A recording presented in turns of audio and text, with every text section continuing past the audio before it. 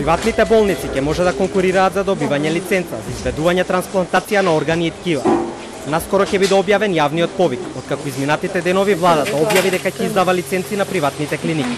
Министерот Филипчев верува дека се предвидени заштитни мерки од евентуални криминални злоупотреби на системот. Во мај, представници на Евротрансплант, од чиј надзор ќе се спроведува целиот процес, ќе посетат Македонија.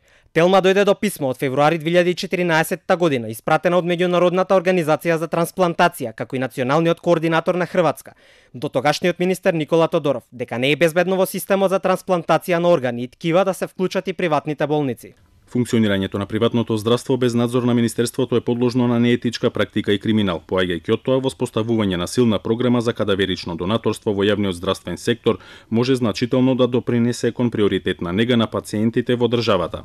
Приватна клиника која ќе добие лиценца да изврши трансплантација ќе биде обврзана во изведувањето на комплетниот запад, да вклучи доктори од јавното здравство, кои ќе бидат задолжени да наблюдуваат, но и да се едуцираат Од Сдруженијето на бубрежно болни граѓани, Нефрон, реагираат позитивно, бидејќи како што велат, ќе се овозможат повеќе опции за пациентите, а целокупниот процес ќе влијае позитивно и на подготвеноста на лекарите од јавното здравство. Филипче се уште нема прецизен одговор дали приватните клиники ќе можат да трансплантираат и странски државјани, а дополнително ќе треба да се утврди и практиката. Министерството допрва ќе треба да утврдува и како ќе функционира системот на органи од пациент во состојба на мозочна смрт. Владата одлучи да додели три лиценци за трансплантација, а лиценцата ќе ја добие оној што ќе понуди највисока сума.